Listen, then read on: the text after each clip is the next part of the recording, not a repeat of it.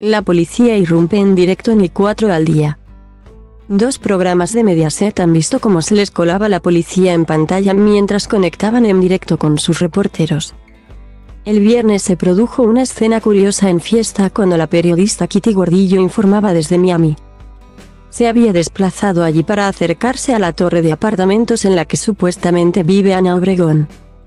Así que ella y su cámara hicieron guardia a los pies del edificio, el magazine de Emma García conectó cada pocos minutos con su delegada, que permaneció en la calle unas cuantas horas micrófono en mano.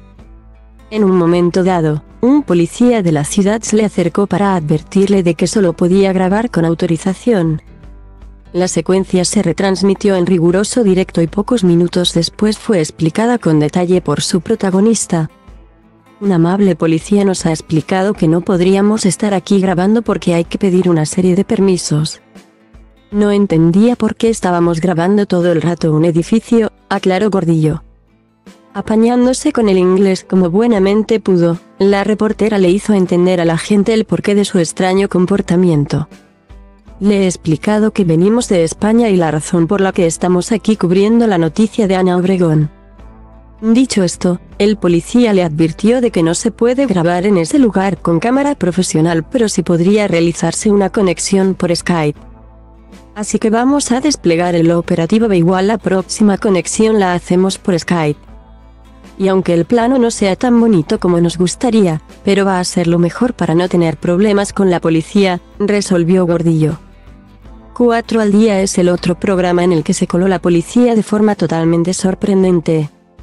Durante una conexión en directo llevada a cabo este sábado, la periodista de Nébola Fernández tuvo algunas dificultades para contar lo que estaba ocurriendo en ese momento en la Semana Santa de Sevilla. Parece ser que la reportera estaba donde no debía, más allá del cordón policial. Y los agentes se lo hicieron saber sin contemplaciones. La empujaron con suavidad en varias ocasiones para que se hiciera a un lado mientras desfilaban los procesionarios pero ella habló sin equivocación ni distracción alguna para los espectadores del informativo que presenta a Roberto Arce. Tuvo más problemas que ella el operario que portaba la cámara, pues afinó el zoom para enfocar a los pasos de la procesión sevillana pero, entre tanto empujón y gentío, acabó grabando todo menos lo que pretendía grabar. Geantă și pleacă. Grăbește-te că trenul ăsta nu așteaptă. Dar eu știu deja că vreau cu totul altceva. Închide ochii, îți poți imagina că lumea e a ta și în plus. Poți să sari sus, sus, sus